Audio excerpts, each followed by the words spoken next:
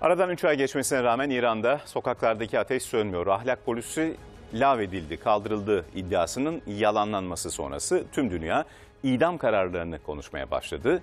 İlk kez infaz gerçekleştirildi dün. 23 yaşındaki Muhsin Şikari'nin ailesi tepkili ve tabii eylemcilerde.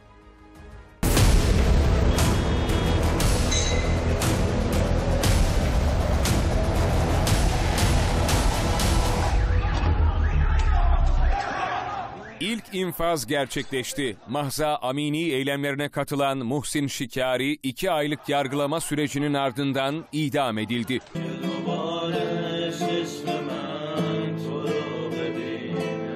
Şikari 23 yaşındaydı. Rejim karşıtı eylemlerde bir memuru yaraladığı gerekçesiyle gözaltına alınmıştı. 20 Kasım günü eylemci genç hakkında ölüm hükmü verilmişti.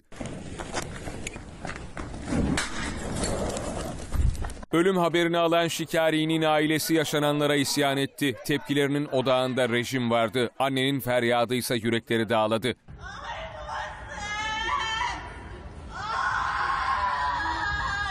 İnfazın gerçekleşmesinin ardından eylemciler Şikari'nin gözaltına alındığı Settarhan Caddesi'nde toplandı. Olaylar gece boyu sürdü.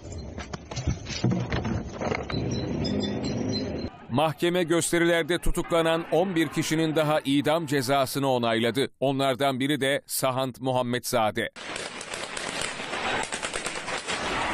Mahkeme genç sporcunun infaz kararının yakın zamanda uygulanacağını ilan etti. Tutuklu 1100 göstericinin de iddianamesi hazırlandı bile. Tahran yönetiminin de göstericilerin de geri adım atmaya niyeti yok. Dünyanın dört bir yanından idamlara tepki yağıyor. İran sokaklarındaki ateş uzun süre söneceğe benzemiyor.